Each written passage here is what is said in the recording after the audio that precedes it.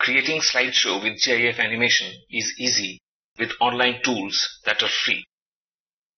We will do a simple slideshow in this video. Let me start with Google searching for the term online GIF animation maker. It returns over 15 million results. This is a broad search for my chosen term.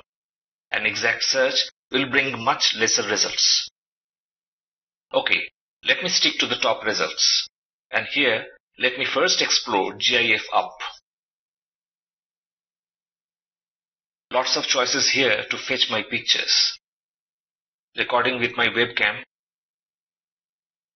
Fetching from my computer. From Flickr. And also from a website.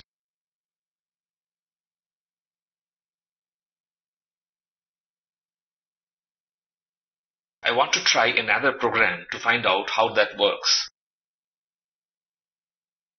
And so I decide to go back to the search results.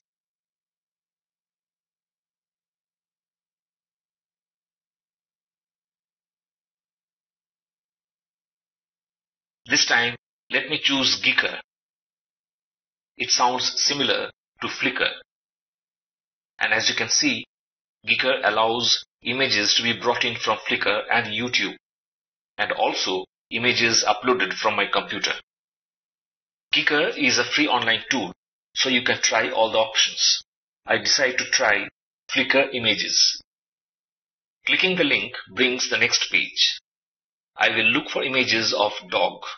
A Flickr username is required, but I prefer to avoid it for now. The Get Pictures link brings in good images. Lots of good many images of dogs.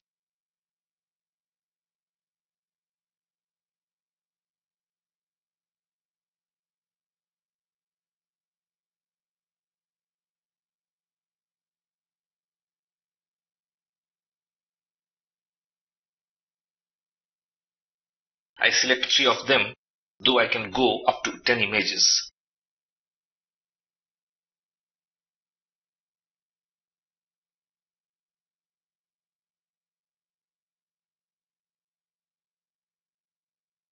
Next, I make the speed 4 seconds and limit the width of the animation to 120 pixels.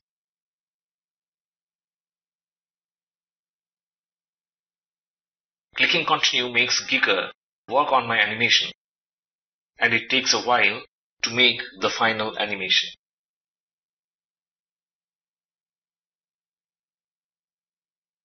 Here it is. It has come quite well.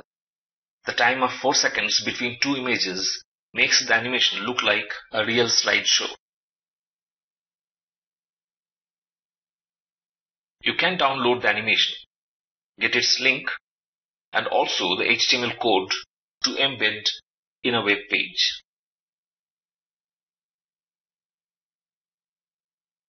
Remember two important points. The animation doesn't stop, it loops. And second, the time for each image will be the same. Thanks for watching.